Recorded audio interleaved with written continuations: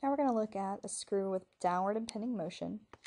Now, since it's a self-locking screw, in this case, the only way to get downward impending motion is to actually force it down, just like you would with any normal screw that you would think about. So we're going to force it down.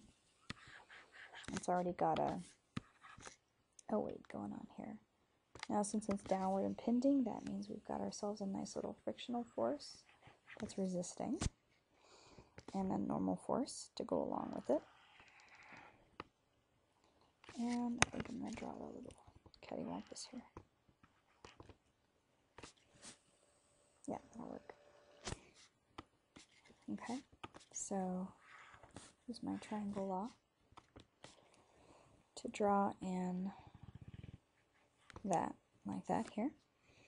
And I've got a phi That's my angle of static friction going in right there. Now I know the next step is I'm going to want to take that resultant r and decompose it into its x and y vectors. So let's start by looking at some of the geometry.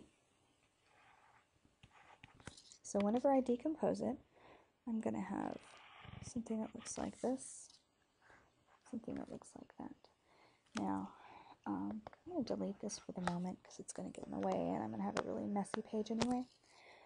So, what I'm going to do, and I'm sure there's a fancier way to do this, but I'm going to recognize that right here I've got a right angle.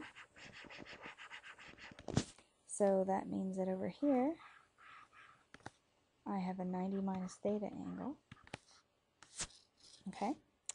Now if I recognize that here's a parallel line and here's a parallel line,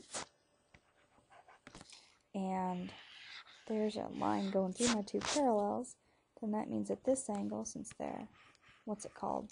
Angles, I can't remember what they're called. But these interior angles are both 90 minus theta. And since I have a triangle here, it has a right angle in it, then that means that this itty bitty angle up here is theta. Now, good luck me trying to erase all that and still have it make sense. But I did prove that that angle right there will be theta.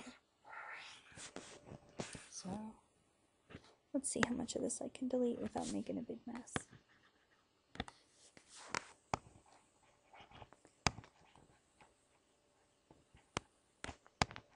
There we go. Oops, not that part. Oh, I don't want to lose that part. No! Oh well.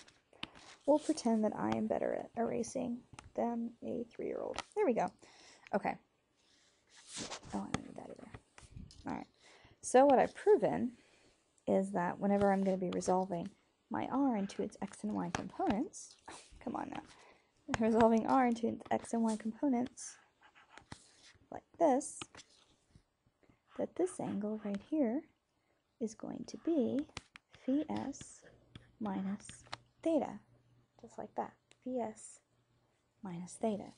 So whenever I'm writing my components, since this is opposite, it's r sine, phi s minus theta, and adjacent is going to be r cosine phi s minus theta. So now I can sum my forces in the x direction.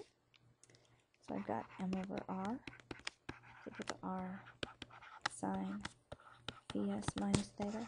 Now I'm going to say if you're getting a hard, having a hard time drawing these in, how you draw these can really impact your ability to interpret them. So on a problem where you know that your frictional force is really big, did you notice how I drew my frictional force to be really big? Um, and then normal force wasn't a whole lot in comparison. That really impacts the way that you draw it.